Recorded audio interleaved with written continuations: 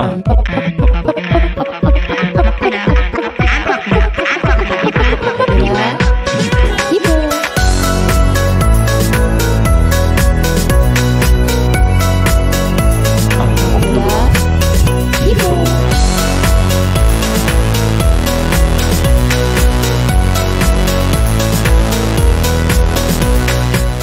Hallo und herzlich willkommen zurück bei Unpopular People.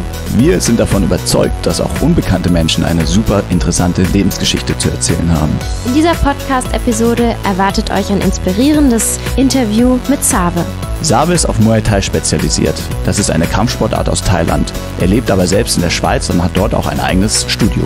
Save ist einer der motiviertesten und engagiertesten Leute, die wir kennen. Er hat sehr viel Disziplin und ein super Mindset, von dem ihr viel lernen könnt. In diesem Interview beschreibt er unter anderem, wie er sein Jahr strukturiert, um seinen Zielen immer näher zu kommen. Save ist die Kurzform für Saverio. Im Interview nennen wir ihn jedoch mit seinem Zweitnamen Ben sowie meinen. Im Freundeskreis wird er jedoch Save genannt. Alle Infos zu Save und die Shownotes zu dieser Sendung findet ihr auf unserer Website www.unpopularpeople.com. Dort könnt ihr uns auch eine kleine Spende hinterlassen unter dem Button Donate. Oder auch eine Nachricht, wenn ihr mit ihm in Kontakt treten wollt für seine Services und natürlich auch für die Services aus den vorherigen Sendungen. Wir würden uns sehr darüber freuen, wenn ihr unseren Podcast teilt oder natürlich abonniert auf den Plattformen, wo auch immer ihr ihn hört. Und nun zum Interview. Viel Spaß beim Zuhören. Lieber Ben, herzlich willkommen bei Unpopular People ähm, zu unserem Podcast. Schön, dass du Zeit hast heute für das Interview mit uns. Ähm, zuerst einmal, wer bist du denn eigentlich? Wo bist du geboren und aufgewachsen? Hi zusammen, ich bin aus der Schweiz, man hört und jetzt tue ich dann gerade mal wechseln auf Hochdeutsch. Es float nicht mehr so schön, aber ihr müsst damit klarkommen. Also ich bin in der Schweiz groß geworden. Mein Vater ist äh, ein kleiner Sizilianer. Meine Mutter halb Deutsch, äh, halb Schweizerin. Und ja, ich habe so ein bisschen was über mich. Ähm, ich fasziniere mich ziemlich stark für Sport, Gesundheit. Und genau dadurch geht es jetzt auf der beruflichen Ebene. Ähm, ja, momentan äh, gebe ich alles dafür, dass ich mich in dieser Kategorie weiterentwickeln kann. Und ähm, du hast eben schon kurz deine Eltern erwähnt. Ähm, kam der Ansporn in diese Richtung, dich zu entwickeln, kam das vom Elternhaus oder was meinst du, woher das für dich so entstanden ist? Nee, das kam auf keinen Fall von meinem Elternhaus. Ähm, ich, also nur noch ganz kurz, es fällt mir so schwer, Hochdeutsch zu sprechen, weil ich genau weiß, wie beschissen die Schweizer im TV klingen, wenn die Hochdeutsch sprechen und ich weiß, dass ich genauso schlimm äh, klinge. Aber jetzt mal, ähm, nee. Also wir, wir, finden, wir finden das überhaupt nicht schlimm. Also wir finden, das ist äh, vollkommen äh, im, im, Rahmen und ich, wir hatten schon Leute im Interview, ähm, die äh, also bei weitem nicht so, so gut Hochdeutsch sprechen konnten wie du. Von daher. Das macht es einfach sympathisch und natürlich. Alles gut. Genau. Okay. Ähm, so, meine Eltern die waren nicht unbedingt Auslöser für meinen beruflichen ähm, Werdegang im Sport.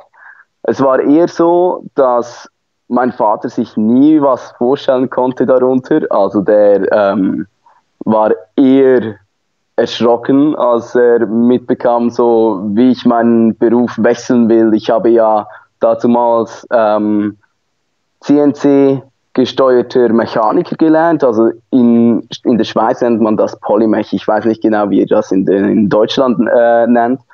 Äh, das war ein ziemlich guter Beruf hier. Man verdient gut, man hat gute Möglichkeiten zum Ingenieur zu wechseln.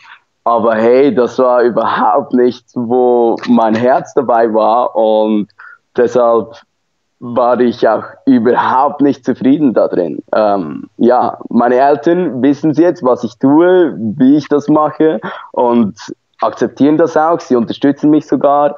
Aber am Anfang war es nicht immer einfach, obwohl meine Mutter, die war immer da. Und dann erzähl uns doch vielleicht noch ein bisschen von deiner Kindheit. Hast du Geschwister? Wie bist du so aufgewachsen? Ähm, so ein bisschen Background nochmal vielleicht. Ja, ich habe einen kleinen Bruder, Dario. Und ähm, er ist nur ein Jahr jünger. Also wir die ganze Kindheit durch ähm, hatten wir sehr viele Erinnerungen, die wir halt teilten, weil wir so nah zusammen aufwachsen, aufgewachsen sind. Ja, genau. Und ähm, du hast schon gesagt, beruflich ähm, machst du jetzt Sport. Ähm, vielleicht kannst du da ein bisschen näher drauf eingehen, was das genau für dich bedeutet, wenn man sich ähm, ja für den Beruf des Sportes oder der Beruf als Sport bezeichnet. Was bedeutet das für dich? Also für mich ist es, ich arbeite momentan als Muay Thai Coach und ich habe ein, so ein kleines Unternehmen mit zwei weiteren Freunden und wir handeln das so zu dritt. Läuft mega cool. Ähm, wir haben halt alle so eine große Passion für den Kampfsport und wir leben das voll. Wir lernen überall. Also die meisten von uns sind schon überall auf der Welt gewesen und haben den Kampfsport ausgeübt. Dazu kommt noch, dass ich Haltungscoaching mache. Das heißt, ähm, das Training eigentlich zur Verbesserung der Biomechanik ähm, den Leuten beibringen will. Das heißt, dass eigentlich Menschen zu mir kommen, die Schmerzprobleme haben, Haltungsprobleme oder Bewegungsprobleme. Und innerhalb von 12 bis 16 Wochen kann man da schon gute, einen guten Trainingsplan zusammenstellen, um den Leuten wirklich nachhaltig zu helfen das heißt es für mich, da im Sport- und Gesundheitsbereich zu sein. Und wie kam es dazu? Warum hast du dich äh, ausgerechnet für diese Richtung entschieden und bist vielleicht nicht Leichtathlet oder Basketballer oder sonst etwas geworden? Warum ausgerechnet der Kampfsport und warum diese Weiterentwicklung? Also im Basketball war ich eh immer scheiße. und ähm, Kampfsport hat mich irgendwie immer schon fasziniert, also als kleines Kind schon. Ich habe allerdings sehr spät damit angefangen, weil bei uns im Ort hat, also wir leben da in so einem kleinen Kaff, da hat es mehr Kühe als Einwohner und da gab es halt nirgends irgendwie eine Möglichkeit, um Kampfsport zu machen. Ähm, ja, später mit 17 habe ich jetzt angefangen, da hatte ich einen Roller und da habe ich realisiert, so hey Ben, weißt du, jetzt bist du dafür verantwortlich. Ähm, also nimm es in die Hand und start die Scheiße mal. Ähm, ja, so hat es angefangen. Dann bin ich in andere Länder, habe äh, in Thailand trainiert, Australien, wo ich äh, die Freude hatte, den verrückten Musiker Ben kennenzulernen. Ähm, ja, so kam die Schiene ein bisschen. Und auf der Australienreise ähm, hatte ich auch eine Mission und das war ich war immer daran interessiert, für was haben wir uns, wir Menschen uns entwickelt und wie verändern wir wirklich nachhaltig unsere Haltung, weil ich, ich, ich wusste, dass ich selbst Probleme damit hatte, ähm, durch den Kampfsport damals schon, so ein bisschen eine Kyphose in der Brustwirbelsäule und solche Sachen. Und ja, da gab es verschiedene Mentoren, die ich verfolgt habe und mich am Schluss für den einen entschieden hatte durch einen guten Input von Egon. Das ist ein anderer Typ, den Ben und ich kennengelernt hatten in Australien. Wir waren da crazy, wir haben trainiert, wir hatten immer geiles Essen und ja, mega coole Erfahrung. Genau, das ist so ein bisschen der Weg. Und ähm, du hast jetzt auch schon gesagt, ähm, bevor du nach Australien dann gekommen bist, äh, warst du in Thailand. Da warst du ja auch noch äh, recht jung. Ja, kannst du vielleicht mal so ein bisschen die Erfahrung erzählen, die du da hattest, was du da genau gemacht hast? Ich glaube, das ist für andere Leute unvorstellbar in, mit so jungen Jahren. Ähm, vielleicht kannst du dein Alter mal noch dazu sagen, wie alt du dort warst, äh, mit so jungen Jahren ähm, dorthin zu gehen und einen Kampf zu machen. Hattest du da ein Team mit dabei oder hast du das ganz alleine gemacht? Äh, wie war das so? Wie hast du dich da gefühlt? Ja, also ähm, ganz kurz, zuerst mal, um den Kontext aufzubauen. Hier in der Schweiz habe ich, hatte ich meinen Trainer, meinen Coach gefragt, so, hey, weißt du, ich will richtig, richtig in was reinkommen. Ich will viel besser werden. Und ich, ich wusste, ich habe spät angefangen, verdammt. Und er sagte mir da, hey, da gibt's nur eins, geh nach Thailand und trainier da in einem Muay Thai Camp. Ja, und ich, weißt du, ich ging auf die erste Reise mit etwa so 20 oder 21 und ich wusste, dass ich bei dem Job, den ich gelernt hatte, einfach überhaupt keine Leidenschaft dafür verspürte. Es war nicht so, dass der einfach scheiße war, weißt du, ich habe vieles gelernt und ähm, vieles mitgenommen, auch für die Kreativität und so. Ähm, allerdings wusste ich, es ist nicht mein Ding. Also habe ich alles auf die Karte gesetzt, Erfahrungen zu sammeln, wo ich das Gefühl hatte, hey, das wollte ich immer schon machen. Und ich habe mich total ins kalte Wasser geworfen. Also ich konnte kein Englisch. Ähm, ich konnte es wirklich nicht. Ich, als ich das erste Mal in einem Hostel ankam, wusste ich nicht, wie ich sage, hey, ich möchte ein Zimmer buchen. weißt du, ähm, schon krass, so den Rückblick zu haben und zu sehen, wie sich das verändert hat. Und ja, so für mich war es einfach unglaublich wichtig, dass ich etwas finde, das mir gefällt und deshalb habe ich mich auch auf, war es ein Weg, einmal nach Thailand zu gehen, dieses Camp durchzuziehen und dann den Kampf zu machen. Ich ging da alleine hin, ich hatte kein Team dabei, aber weißt du da, die Leute lernen zu kennen, es ist wie eine große Familie. Also ähm, da kann man, ich glaube nicht, dass man da viel falsch machen kann. Wir Menschen adaptieren so schnell, wenn es sein muss. Oh je. Und ähm, wie war das für dich? Äh, hattest du irgendwelche Vorbilder? Also, dass du gesagt hast, so, hey, ich gehe jetzt einfach mal los. Klar, dein ähm, Lehrer, wie du gerade gesagt hast, der hatte Einfluss auf dich, dass du gesagt hast, ähm, du willst das äh, Kämpfen richtig lernen, aber ähm, trotzdem, wo hast du diesen inneren Antrieb hergenommen? Hast du irgendwie ein Buch gelesen oder einen Film geschaut, das dir nochmal so den letzten Kick äh, gegeben hast, dass du gesagt hast, so, ich will jetzt wirklich meine Leidenschaft finden, mein Ding durchziehen und äh, diesen Weg gehen? Oder war das einfach von dir schon in dir drin? Ich glaube, ein wichtiger Anstoß dafür war meine Großmutter, weil sie hat immer vom Reisen geträumt und sie hat sich immer gesagt, sie arbeitet bis zur Pension. Siehe da, sie ist pensioniert und kann nicht mehr laufen. Nicht mehr so, dass sie wirklich reisen kann. Und ich habe immer mitbekommen, wie stark dass sie darunter gelitten hat. Und deshalb hatte ich irgendwie so einen großen Drive, wirklich loszugehen und das zu finden, was für mich wichtig war. Dazu kam halt dann noch ein Künstler, der mein Lieblingskünstler war und das war Materia. Und der sagte so in einem Interview, ja, ich denke, das Wichtigste ist, dass jeder junge Mensch, wenn er mal so fertig mit Schule, Ausbildung ist, einfach mal ein Jahr weggeht, weißt du? Scheißegal, was da auf einen zukommt, nicht nur einen Monat oder zwei Monate, sondern wirklich ein Jahr wegen der Entwicklung und so. Und ich dachte einfach, fuck man, weißt du, ich mach das jetzt. Und irgendwie, ich war auch vielleicht noch ein bisschen leichtsinniger oder naiver, aber ich glaube auch heute noch, wenn ich so das Gefühl hätte, dass ich eine große Entwicklung hinlegen kann, würde ich das nochmal genauso machen. Ich weiß nicht, ob es abhängig ist von Mensch zu Mensch verschieden, ähm, ich habe vielleicht auch einfach einen großen Drang, was ihr beide, glaube ich, auch habt, und das ist Entwicklung. Und ja, ich denke, das ist so eine Antwort darauf.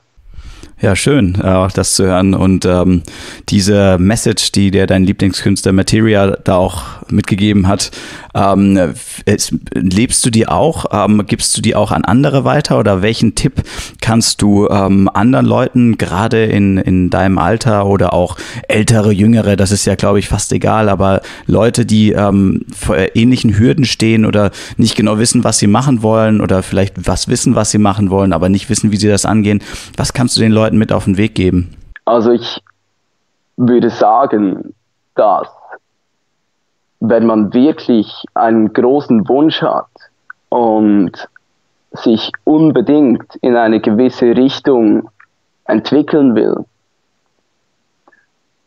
dann ist es immer möglich. Man muss einfach bewusst sein, dass man sein, sein Umfeld dafür, für diese Entwicklung optimal darauf anpassen muss. Das heißt, wir können nicht erwarten, dass wenn ich zu Hause wohne, wo alle mit den gleichen Perspektiven, mit dem gleichen Denken ähm, immer um mich herum sind, dass ich da eine Entwicklung schaffe, die total anders ist als, äh, als das Gewohnte. Weißt du, es gab da mal ein gutes Beispiel. Wenn du dich verändern willst oder verformen willst, dann stell dir das vor wie ein heißes Eisen, so ein Pferdehufeisen. Du musst es wirklich, wirklich erhitzen, dann kannst du es formen. Um es zu formen, musstest du es in eine neue Umgebung bringen, wo es wirklich, wirklich heiß war. Okay? Du kannst es jetzt formen. Wenn du das heiße Eisen jetzt einfach wieder rausnimmst und in die Kälte legst, da wo es vorher war, es wird nicht seine gewünschte Form behalten. Es verformt sich wieder. Und zwar recht stark in die vorherige Form zurück. Okay? Das heißt, um so zu bleiben, wenn man das schon mal geschafft hat, sich äh, in die Richtung zu entwickeln, wo man sein wollte, dann muss man, denke ich, auch sehr stark auf sein Umfeld achten. Und ich denke, niemand ähm, kann sagen, hey, nein, bei mir ist es einfach zu spät. Ähm, das ist eine Entschuldigung. Also, wenn man wirklich will, dann geht das auch. Ja, vielen Dank für das bildliche Beispiel, sehr schön. Wie ist das denn äh, heute, wenn wir mal auf heute schauen und ähm, du hast jetzt dein Studio, was du mit deinen Freunden betreibst ähm, und du hast irgendwelche Ziele, die du, weiß ich nicht, dir fürs nächste Jahr setzt, passt ja jetzt auch ganz gut. Äh, Ende des Jahres, neues Jahr, viele Leute haben immer Ziele.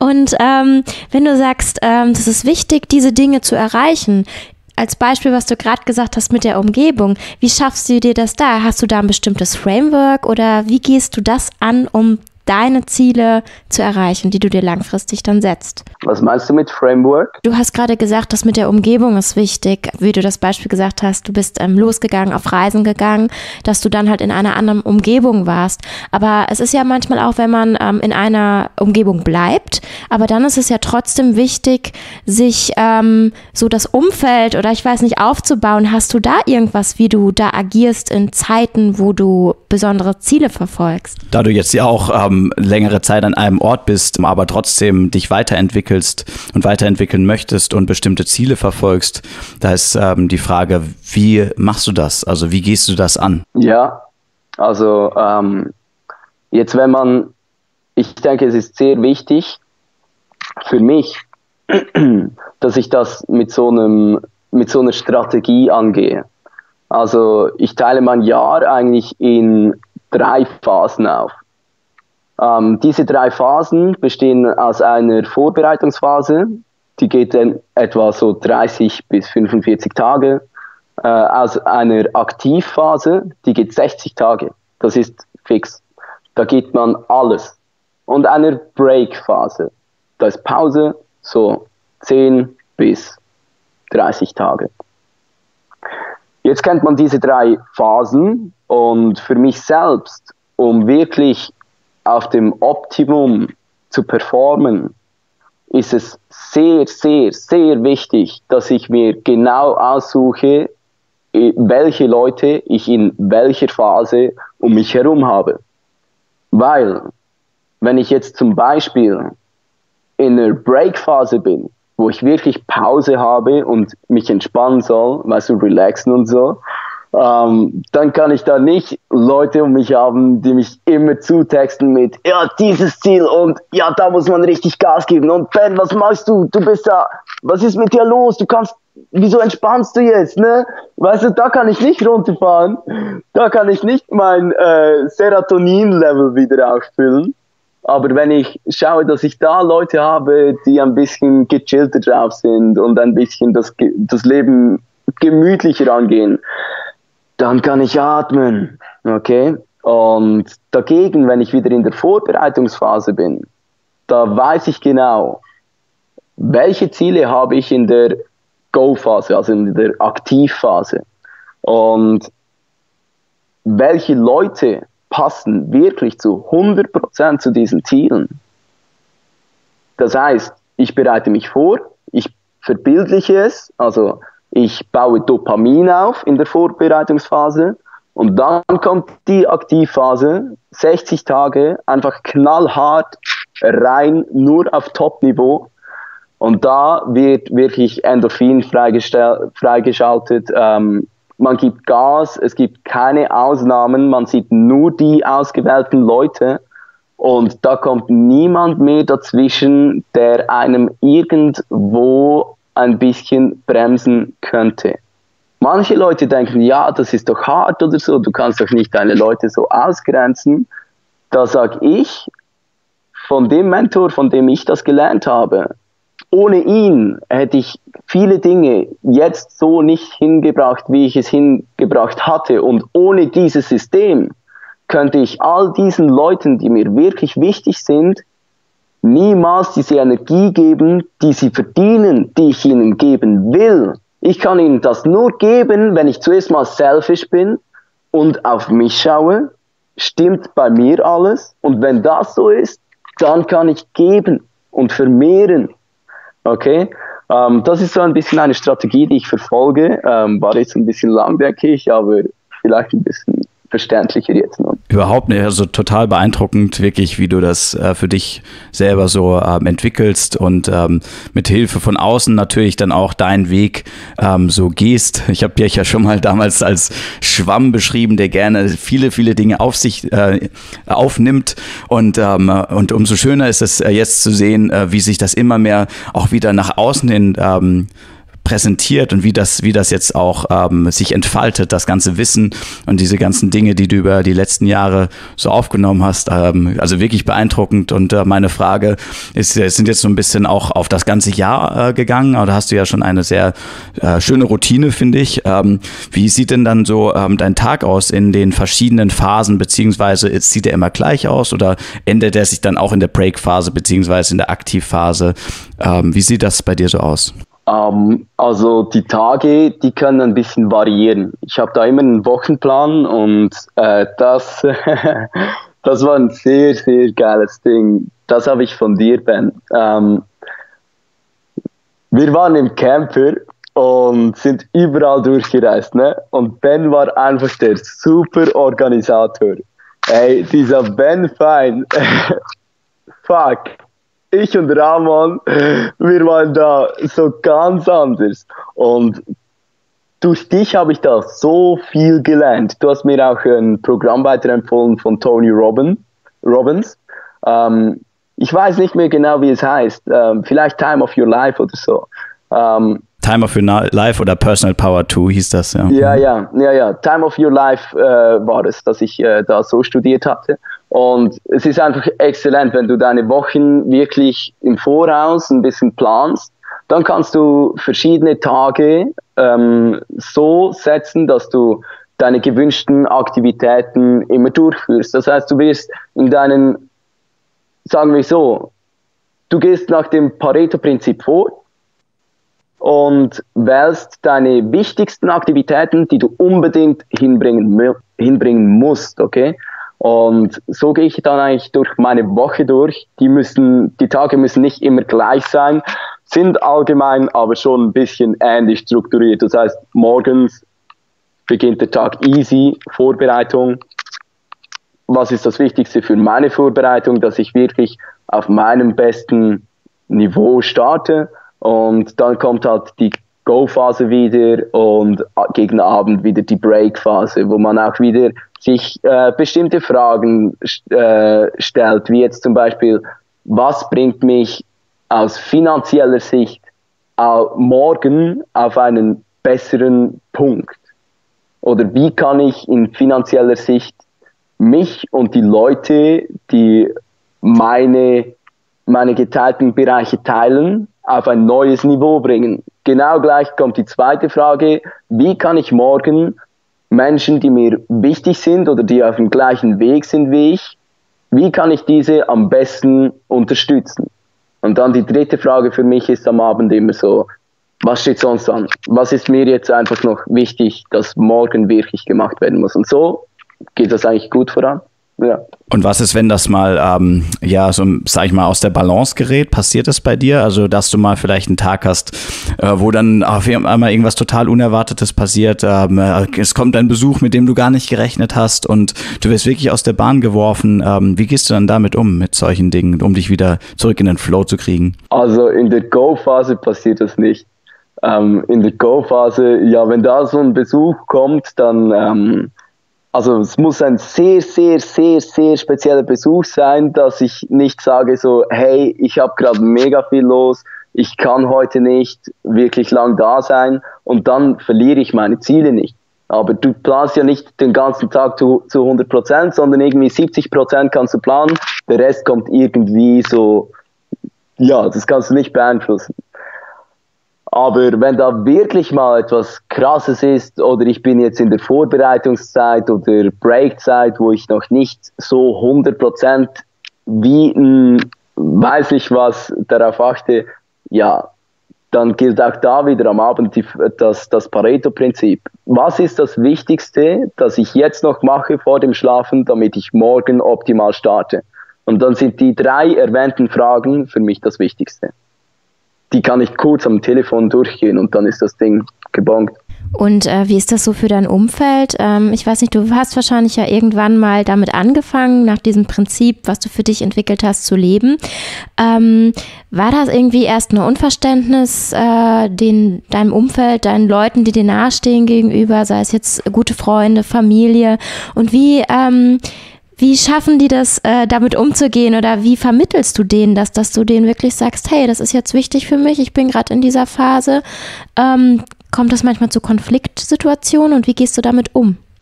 Um, ähm, also ich kann ja, also erstmal die Leute kennen mich, die wissen, dass ich extrem bin mit, mein, mit manchen Ansichten. Deshalb ist das für die nicht mal mehr so verblüffend. Dass jemand wirklich schwierig tut, sage ich jetzt mal, ist bisher auch nicht vorgekommen. Weil ich glaube, dann wäre es auch nicht unbedingt ein, falls die Person es nicht versteht, ist es nicht ein qualitativer Freund. Weil, wenn ich, wenn ich mit meinen Freunden rede und ihnen sagen, was für mich wichtig ist, dann wollen die mich unterstützen in dem, was für mich wichtig ist. Und sie wissen, ich unterstütze sie in den Dingen, wo ich wirklich viel Unterstützung geben kann. Und wenn da jemand ist, der es überhaupt nicht versteht und der butthurt ist oder der sagt, nein, das kannst du nicht machen, weißt du, ich habe viele Leute, die ich immer wieder einlade, so komm, ziehen wir da das und das und das durch. Manche sind da eh so, ja, geil, machen wir. Und manche sind so, nee, Ben, nichts für mich. Cool, akzeptiere ich. Aber dann ähm, ist halt die Akzeptanz auch auf der anderen Seite, dass ich das Ding durchziehe und wenn sie das nicht wollen, kein Ding. Wenn sie denken, hey, ich will dazukommen, komm dazu. Aber man kann sich da nicht irgendwie, ja, blöd kommen, sag ich mal, weil, ja, schlussendlich, jeder soll sein Leben so leben, wie er das will, oder? Ja. ja, genau, cool. Finde ich eine super Einstellung. Ähm, und ähm, für mich ist ähm, die Frage noch ganz interessant, das wollte ich eigentlich vorhin schon fragen, als du von, meinem Muay Thai, von deinem Muay Thai erzählt hast. Du hast ja auch schon Kämpfe gemacht. Ähm, für mich ist immer interessant, ich habe das noch nie gemacht, ich stand noch nie in einem Ring, ich kann mir das überhaupt nicht vorstellen. Ähm, wie kriegt man sich in diesen in diesen Zustand, in diesen geistigen Zustand, ähm, dass man dann in den Ring steigt und jemand gegenübersteht, mit dem man dann ähm, wirklich so einen, einen Kampf ähm, dann machen muss. Ähm, wie, wie ist das für dich? Was geht da in deinem Kopf vor? Und ähm, wie kriegst du dich dazu, dass du sagst, okay, und du gibst jetzt Vollgas und du trittst auf eine andere Person ein, wo du weißt, dass sie dies natürlich auch trainiert und kann sich auch entsprechend wehren, beziehungsweise schlägt auch zurück.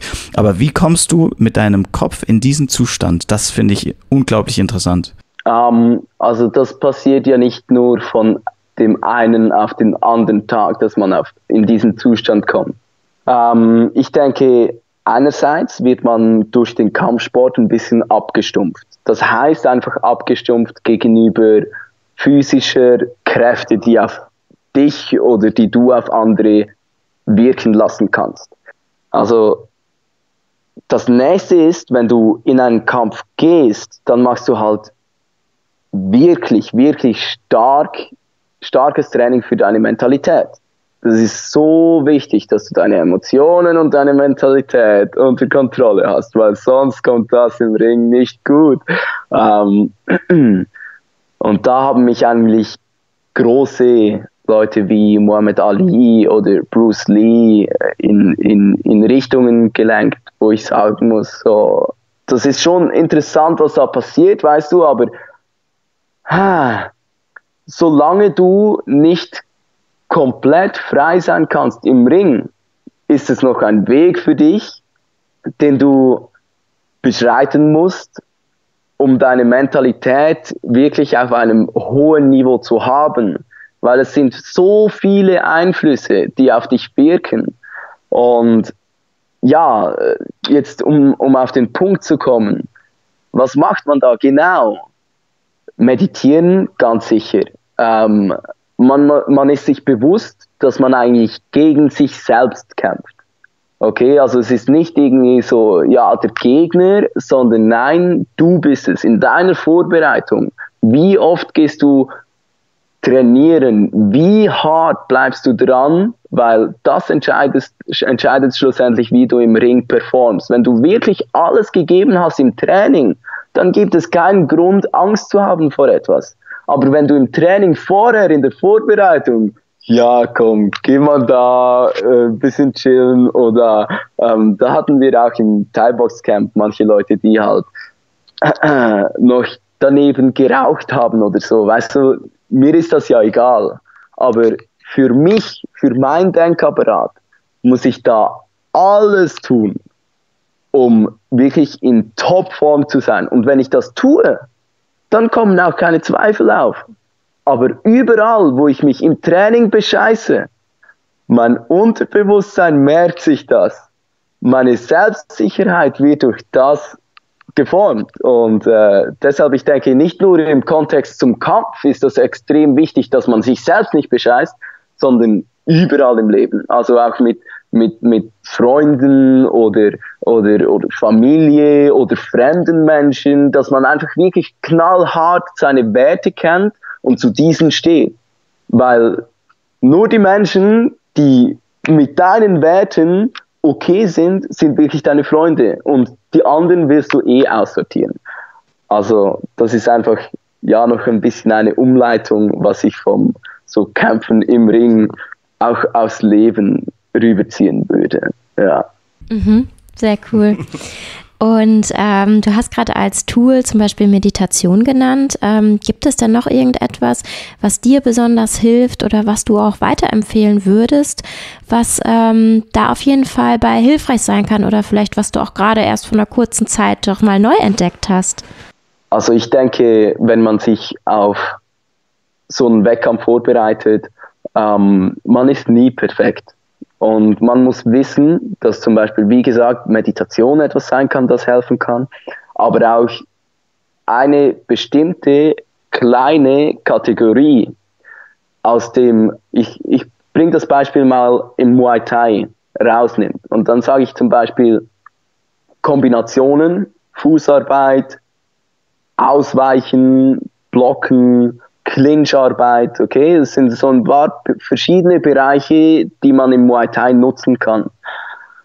Wenn ich jetzt mich vorbereite auf den Kampf, will ich natürlich in all diesen Bereich, Bereichen ähm, eine bestimmte Stärke haben. Aber ich will auch genau wissen, wofür ich besonders gut gemacht bin. Und dann pick ich mir diese eine Kategorie heraus und sage, hey, auf den nächsten Kampf arbeite ich so krass an dieser einen Kategorie, dass ich mit der einfach wirklich trumpfen kann. Und ich denke, da ist es sehr entscheidend. Kannst du dich auf eine Sache total konzentrieren oder bist du immer mit all den verschiedenen Dingen abgelenkt?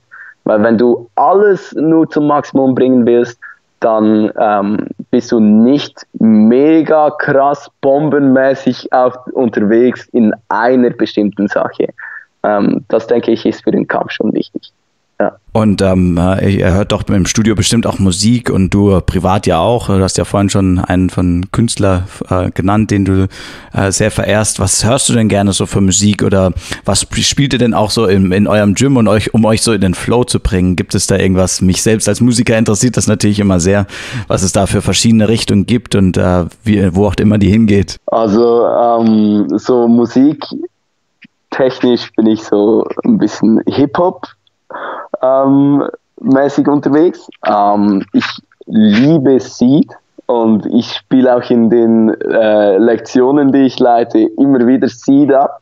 Und wenn ihr Seed kennt, dann ist das mega die freundliche, leidenschaftliche Musik. Also es passt für viele wahrscheinlich gar nicht zum Kampfsport, weil es so hart sein und so was krasses Zeug äh, laufen, aber nee, ähm, für mich so sieht, kommt da andere Hip-Hop-Mixes. Natürlich zum Pushen ist auch mal geil, Eminem reinzubringen und ja, aber momentan bin ich so entspannt unterwegs, da läuft sehr viel Seed. Zum Thema entspannt. Ähm, aber was ich noch sagen kann, ja. was ich noch sagen und zufügen kann, ist, ähm, für den Wettkampf, da ist natürlich, man trainiert, oder? Man hat seine Sparring-Partners, mit denen man im Training trainiert.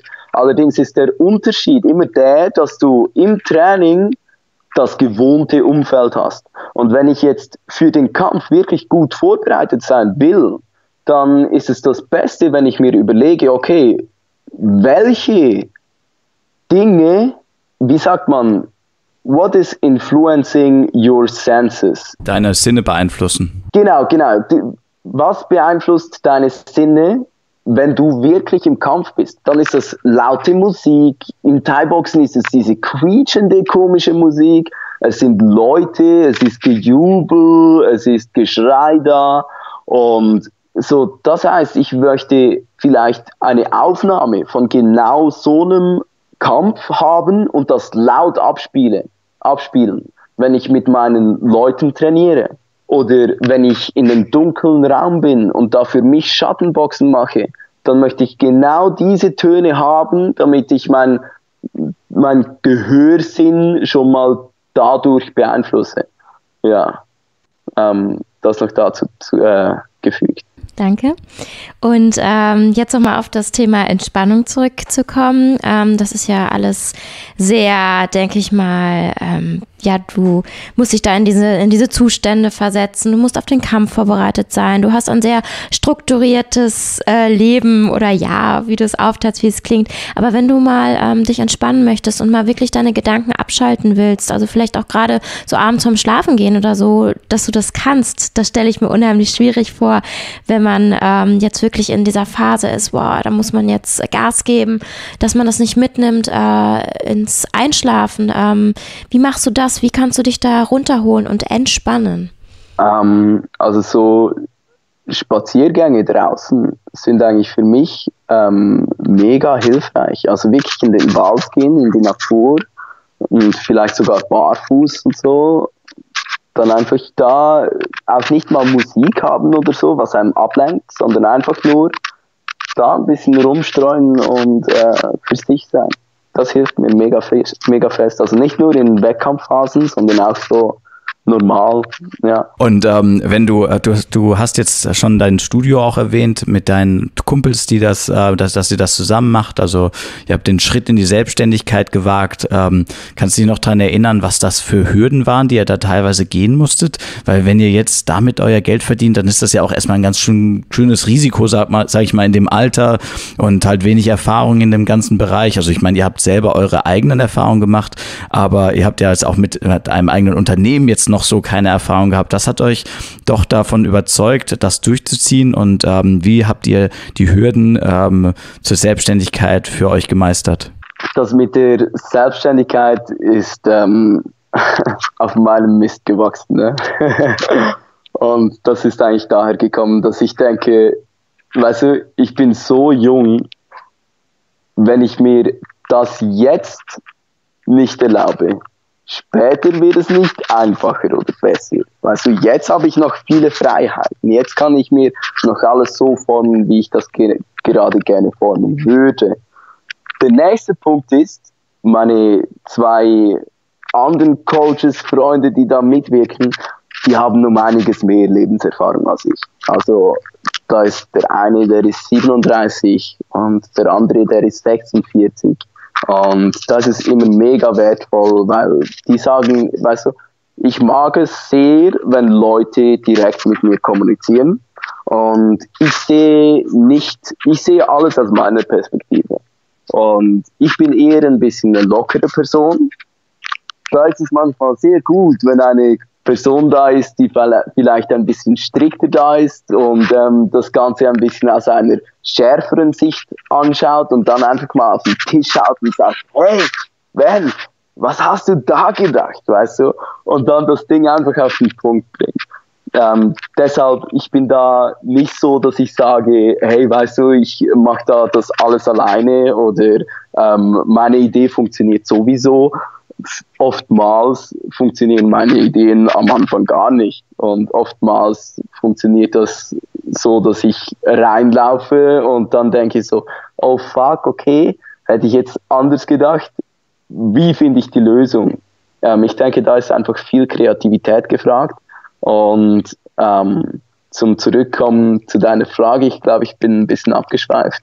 Was war nochmal der Punkt? Generell diese Hürden, die man als äh, Selbstständiger ge gehen muss ähm, und die Herausforderungen, gegenüber denen man äh, steht, dann ähm, wie, wie habt ihr die gemeistert und was kannst du anderen Leuten auf den Weg noch mitgeben? Da hast du jetzt schon ein paar Sachen so vom Mindset her gesagt, aber mal ein paar konkrete Beispiele, wo ihr auch mit dem Startkapital für sowas und ähm, auch mit dem jetzt ähm, Cashflow, wie verdient man damit sein Geld, ähm, weil man jetzt äh, vielleicht teilweise nicht auf Dinge zurückgreifen kann. Nicht jeder hat ein super reiches Elternhaus oder sowas, du ja auch nicht. Also wie habt ihr das jetzt alles ähm, so hinbekommen, ähm, dass ihr davon jetzt leben könnt? Das ist, glaube ich, für viele Leute kann das interessant, also für mich ist es jedenfalls sehr interessant zu wissen. Also ich denke, ein wichtiger Punkt ist, dass man sich mal anschaut, wie machen das Leute, die in einer in der gleichen Branche sind oder in einer ähnlichen Richtung arbeiten.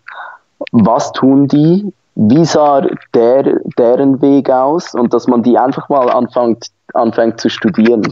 Ähm, denn das nächste ist natürlich ähm, Bescheid zu wissen, wie sieht es mit den Finanzen aus? Was brauche ich am Anfang? Und sich das Ganze mal durchrechnen. Wie viel kommt rein, wenn das und dies der Fall ist?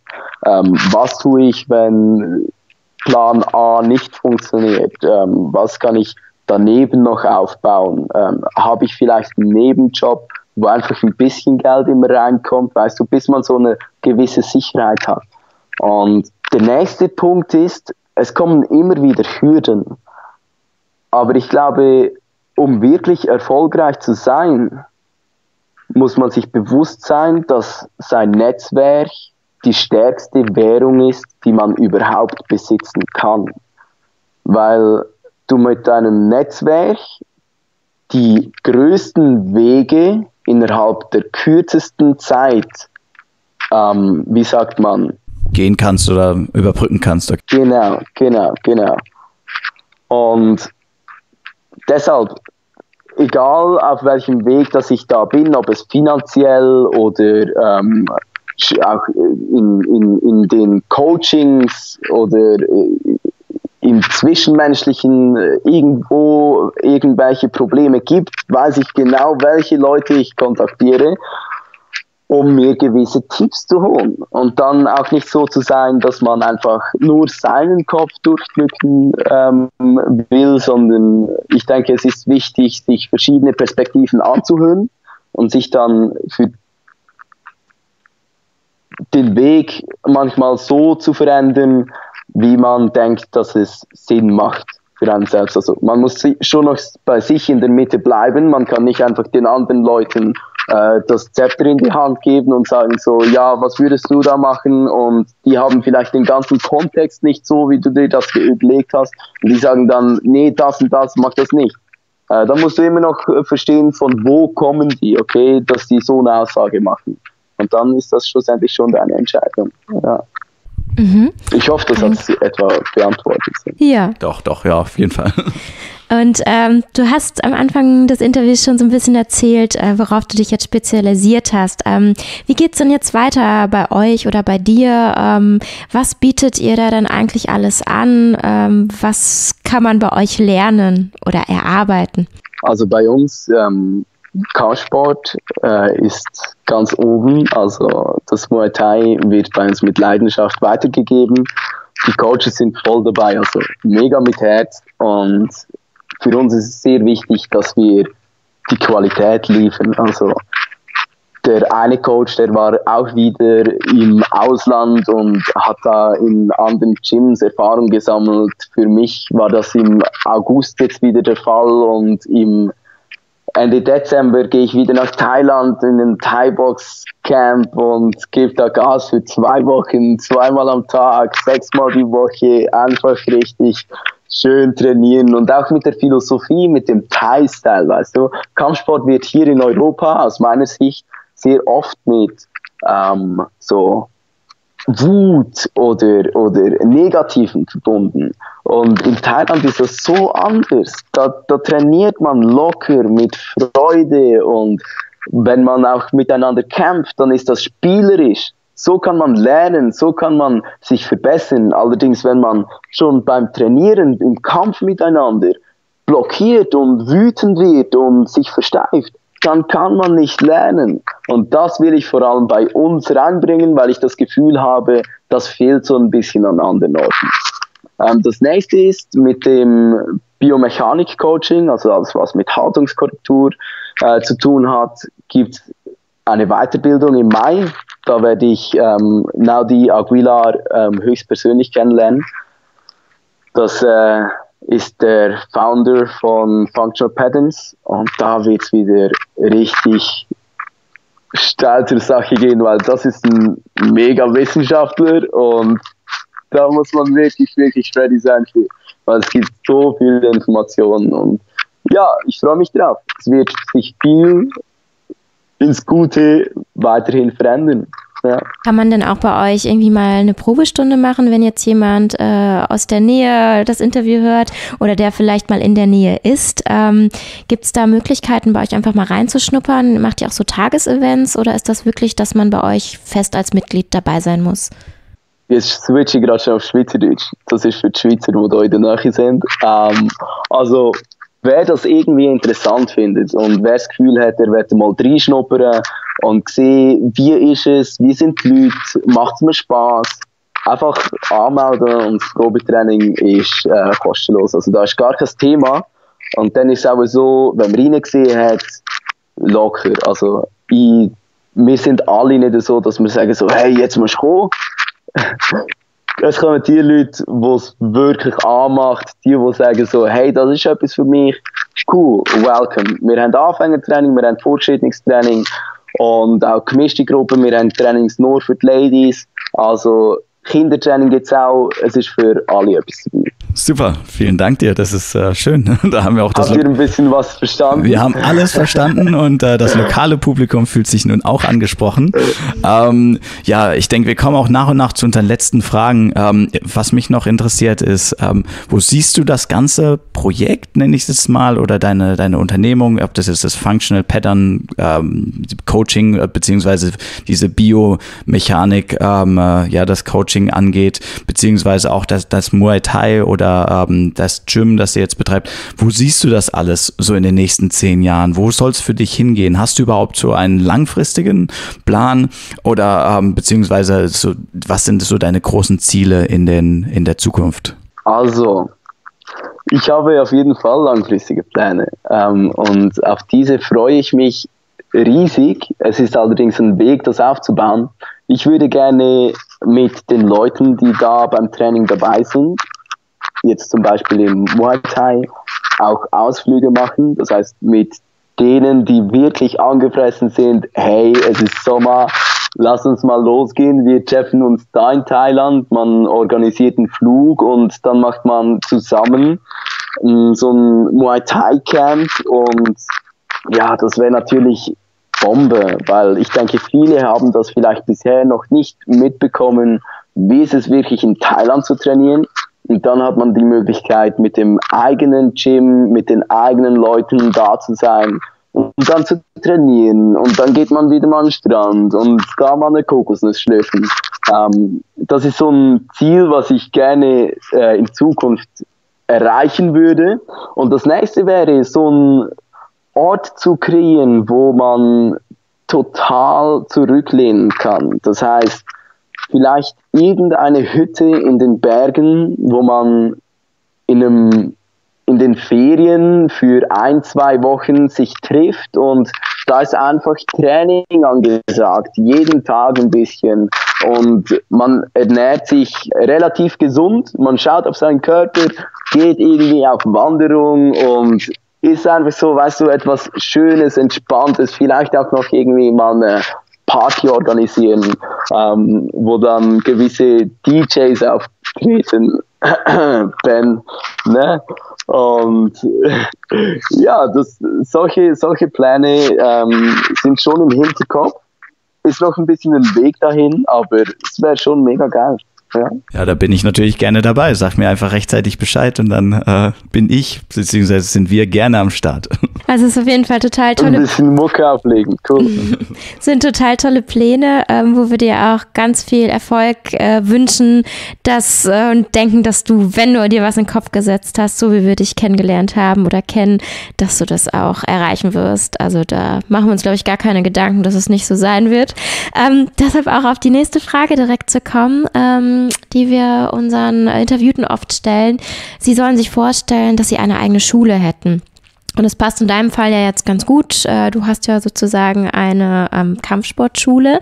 Aber wenn du jetzt mal davon wegdenkst, also nicht nur dich auf ähm, rein das Fachliche spezialisierst, sondern alles, was so mit dem Leben zu tun hat, mit dem Mindset und ähm, deine Schüler würden zu dir kommen und ähm, quasi bei Null starten. Was ist im Leben wichtig? Worauf muss ich, acht, muss ich achten?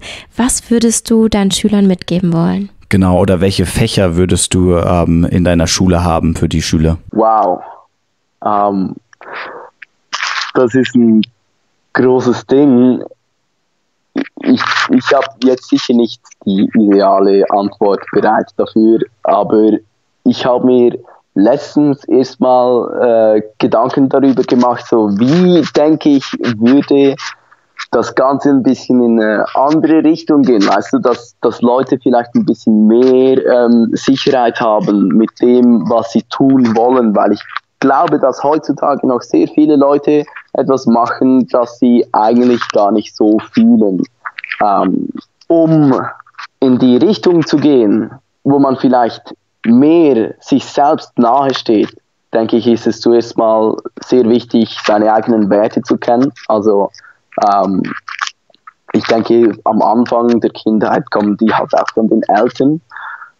Das nächste wäre, für mich wäre es sehr, sehr wichtig, den Kindern ein Fach in die Hand zu geben, wo sie lernen, wie man mit der Mentalität und mit der richtigen Mentalität an die Dinge geht, die man gerne in Zukunft ja, entwickeln will. Ich, ich, ich denke, das ist so wichtig, weil heutzutage habe ich das Gefühl, alle lernen in der Schule gewisse Fächer, aber ob man schlussendlich wirklich erfolgreich wird mit dem, was man macht, hängt, glaube ich, weniger damit ab, was man im Breiten im, im, im Allgemeinwissen gelernt hat, so zum Beispiel einfach in der Mathematik oder Biologie oder Geschichte, sondern ich glaube, da ist es viel wichtiger, die richtige Mentalität an den Tag zu legen.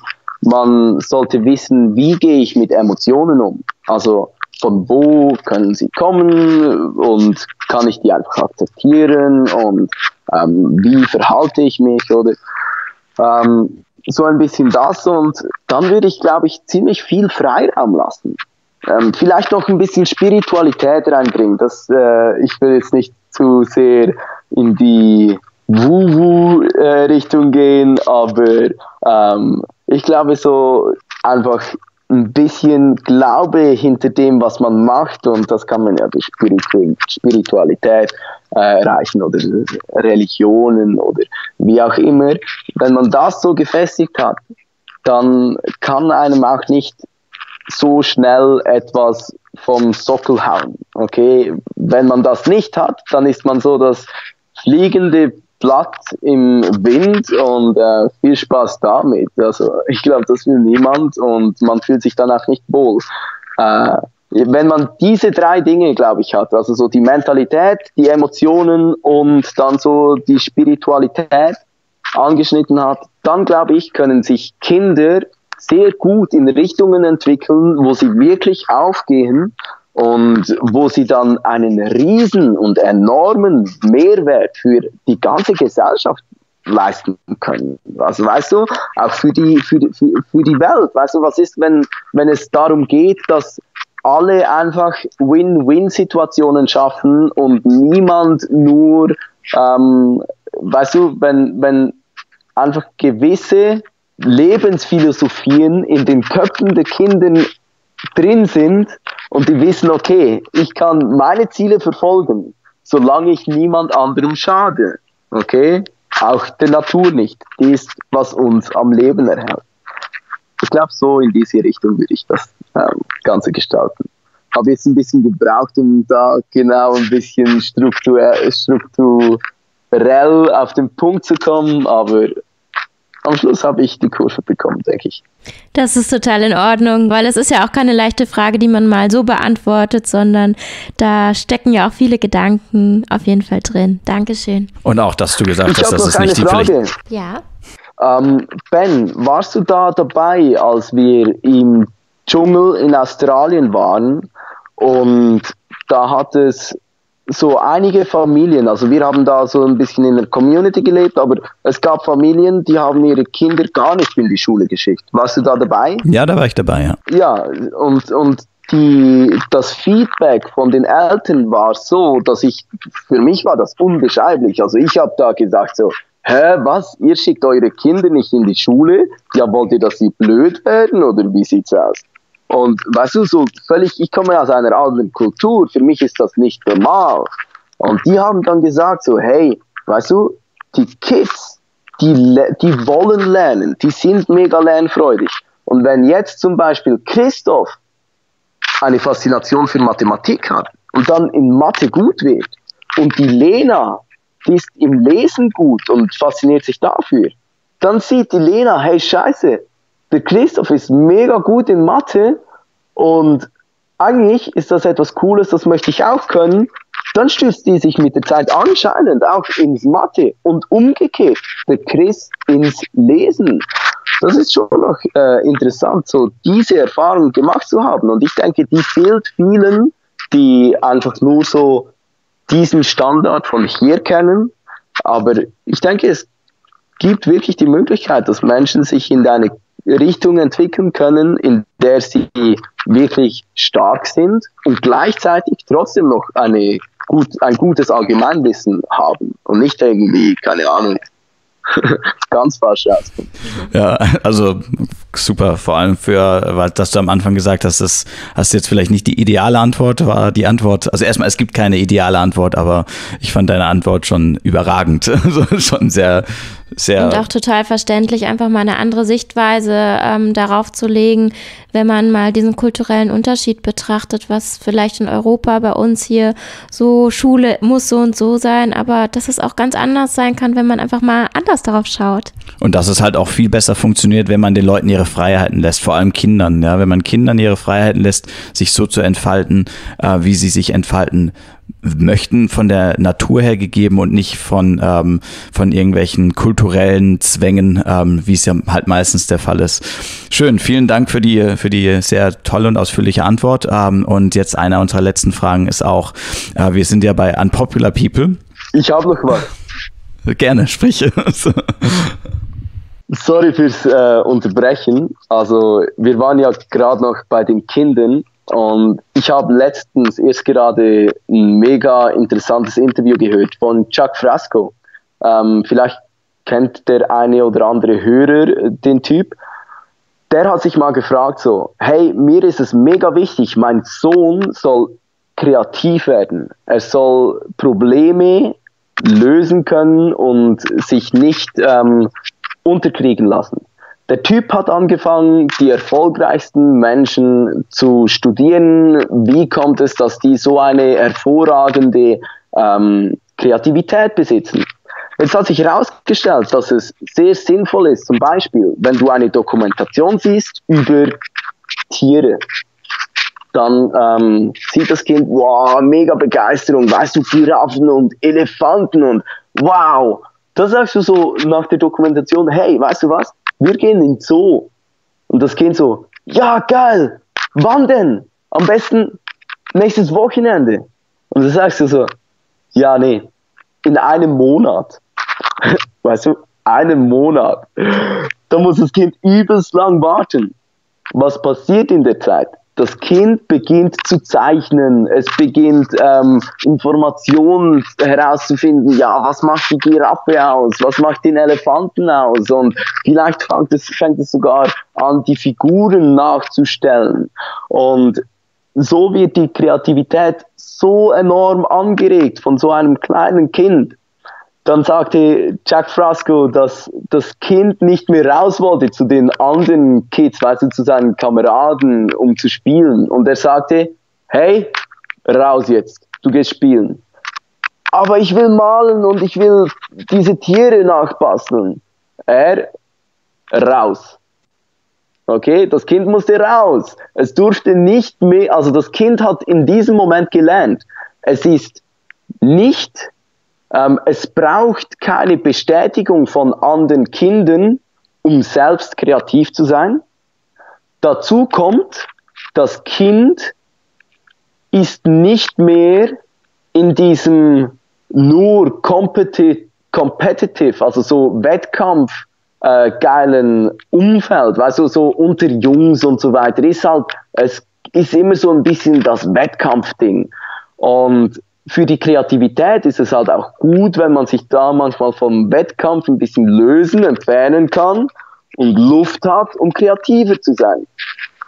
Dieses Beispiel hat er gebracht und hat gesagt, durch diese Art und Weise sein Kind auf solche speziellen Momente wie den Zoo vorzubereiten, lernt es alleine zu arbeiten, es wird kreativ und es ist nicht mehr von anderen abhängig.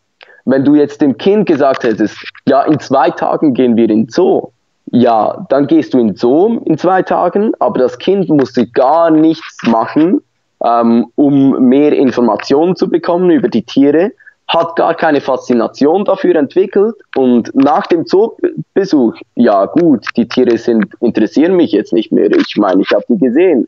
Das andere Kind, das hat jetzt so eine Faszination dafür aufgebaut, dass wir das nicht mehr vergessen. Und diese Kreativität, die kann man dann immer wieder ähm, hervorrufen. Allerdings, wenn man das nie lernt, dann ähm, bekommt man sie auch nicht. Also noch ein kurzes Ding zu den Kindern und was vielleicht hilfreich wäre für dich. Dankeschön. Ja, vielen Dank. Und ähm, ja, jetzt nochmal zurück zu meiner Frage, die letzte Frage auch.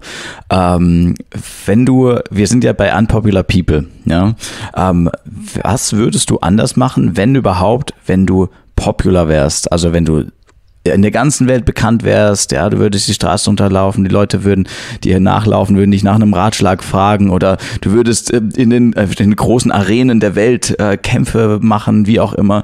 Was würdest du anders machen, wenn überhaupt, wie jetzt? Puh, ähm, also ich denke, eines der wichtigsten Dinge, wenn das der Fall wäre, für mich wäre es, Leute um mich zu, herum zu haben, die mich,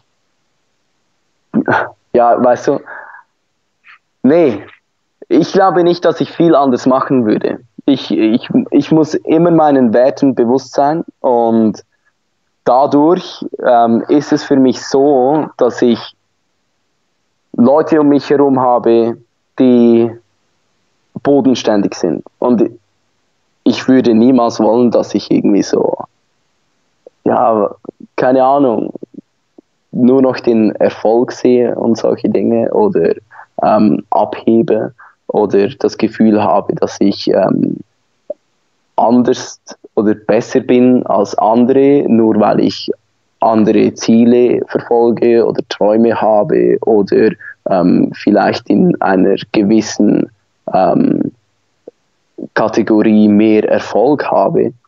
Äh, ich glaube nicht, dass ich da viel ändern wollen würde, weil ich das Gefühl habe, dass ich eine Person bin, die schon noch so recht bodenständig ist und auch ja, das möchte ich bleiben. Also genau. Ja, vielen Dank. Ähm, ich glaube, wir kommen dann jetzt auch zum Ende und ähm, noch, aber ganz wichtig nochmal, wenn man mit dir in Kontakt treten möchte, ähm, sei es äh, jetzt über euer Studio, dass man da vielleicht ähm, sich interessiert oder auch ähm, vielleicht von dir irgendwas erfahren möchte, gibt es irgendwelche ähm, Social Media Accounts, Websites? Kannst du die vielleicht einmal nennen, wie man dich kontaktieren kann? Ja, das ähm, tue ich gerne. Wenn man mich einfach kontaktieren will wegen Sport oder so, dann kann man gerne auf Saverio Bascho auf Instagram gehen und das ist mein privater Account. Also ich sag mal gerade, wie man das schreibt, Saverio S-A-V-E-R-I-O, dann gleich dazu geschrieben, ohne Abstand, ohne Punkt, ohne irgendwas, Bascho, B-A-S-C-I-O. Wenn man mich darunter kontaktiert, dann ähm, gebe ich gerne Informationen weiter zum Kampfsport oder zum biomechanischen Training. Auf Facebook ähm, erreicht man mich am besten auf puh, ich gebe da mal noch äh, was durch für einen Link oder so, wo man vielleicht was dazu schreiben kann. Genau, wir schreiben das dann auch in die Show Notes dazu, also das ist ähm, kein Problem.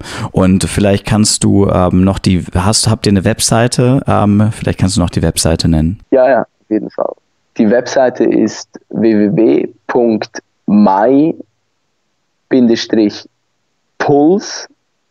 P-U-L-S-E.ch. Und da findet man alle Angebote. Also es ist ein großes Fitnesscenter, es gibt Street Fight, es gibt Muay Thai, es gibt Biomechanik-Coaching, es gibt Massagen.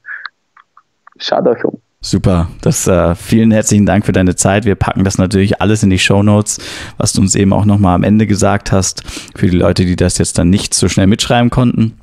Und ähm, genau, also vielen herzlichen Dank für deine Zeit, für die inspirativen Worte. Also ich bin immer wieder begeistert. Ich bin froh, dass ich so viel Zeit in meiner Vergangenheit mit dir verbracht habe, ähm, auf, unserer, auf unseren Reisen, die wir gemacht haben. Und ich freue mich auch auf viele zukünftige Dinge, ähm, in denen wir vielleicht zusammenarbeiten können, beziehungsweise wo wir uns nochmal über den Weg laufen werden. Ich danke dir vielmals für deine Zeit. Ja, ja und auch von mir, die ähm, dich jetzt nicht noch nicht ganz so lange kennen kennt, aber auf jeden Fall einen ganz tollen Eindruck hat und auch für die Zuhörer, denke ich, ganz viele Weisheiten oder Tipps äh, dabei waren, wie man einfach die Dinge angehen kann, wenn man denn möchte, wenn man dann diesen Ansporn hat. Und ja, auch meinerseits, wir wünschen dir alles Gute, wie gesagt, äh, eben schon mal gesagt, äh, für deine Ziele, die du da alle vorhast, die zu erreichen und verabschieden uns an dieser Stelle bei Unpopular People. Danke für deine Zeit. Genau, falls jetzt noch irgendwelche abschließenden Worte sind, ist jetzt dafür der Zeitpunkt und wir verabschieden uns von unserer Seite aus. Vielen Dank. Hey Ben und Elisa, ich danke euch vielmals, ähm, dass ihr mich da draufgepackt habt ich war mega überrascht, als ich die Anfrage bekommen habe. Und ähm, ja, es war mir eine Ehre, auch wenn ich jetzt ähm, vielleicht mit meinem Hochdeutsch nicht so trumpfe, ähm, muss ich noch ein paar Schweizer Worte reinbringen. Für alle da, die es hören und irgendwie mitbekommen haben, dass wir da aus der deutschen Kraft und Schweizer Kraft das Interview vereinigt haben. Merci vielmals fürs Zulassen und ich hoffe, dass man sich mal im Gym sieht. Wir sind herzlich willkommen, wer auch immer das dort auftaucht. Und auch wenn ihr seht, der Lisa und der Ben, die machen hure geile Arbeit. Ich kenne den Ben, wie gesagt, aus Australien. Er ist ein hure guter Kumpel geworden, hure Digger sind wir zusammen. Und er ist ein mega guter Musiker. Elisa ist jetzt äh, inzwischen an Ben seiner Seite. Und äh, ich glaube, die zwei ergänzen sich richtig gut als Team. Ich habe sie auch schon persönlich kennenlernen. Also so wie ihr sie zwei hier im Interview hören, die sind so cool getroffen. Also euch beiden auch mega viel Erfolg und danke, danke tausendmal. Vielen Dank dir. Bis bald, tschüss. Vielen Dank fürs Zuhören. Wir hoffen, diese Sendung hat euch gefallen. Für mehr Infos zu Unpopular People geht doch einfach mal auf unsere Website www.unpopularpeople.com. Bei Fragen und Anregungen könnt ihr uns darüber auch gerne eine Nachricht hinterlassen. Bis zum nächsten Mal. Ciao.